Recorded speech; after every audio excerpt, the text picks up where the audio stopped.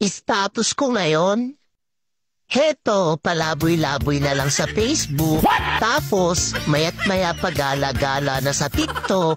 Patambay sa YouTube. Tapos, lilipat na naman sa Messenger kahit wala namang kachat at patawa-tawa pa. Parang yung nanonood